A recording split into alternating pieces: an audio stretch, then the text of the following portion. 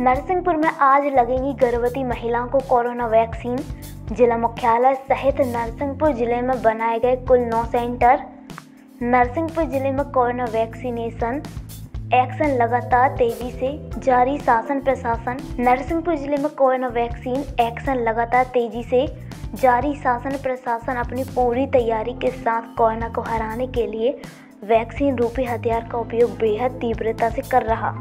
इसी क्रम में आज फिर एक बार गर्भवती महिलाओं को वैक्सीनेशन की कार्य योजना जिला कलेक्टर वेद प्रकाश शर्मा ने जारी की।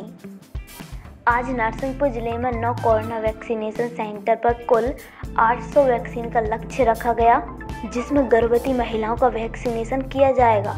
इस वैक्सीनेशन हेतु नरसिंहपुर में 200 लक्ष्य के साथ दो केंद्र, साईखेड़ा, चावरपाठा ब्लॉक में 150 150 के लक्ष्य के साथ साथ दो दो केंद्र और साली चौका, करेली और गोटी गाँव में 100 वैक्सीन प्रति ब्लॉक के लक्ष्य के साथ एक एक सेंटर बनाया गया। उपरोक्त जानकारी पीआरओ राहुल वासनिक द्वारा साझा की गई। नरसिंहपुर से विवेक पटेल की रिपोर्ट।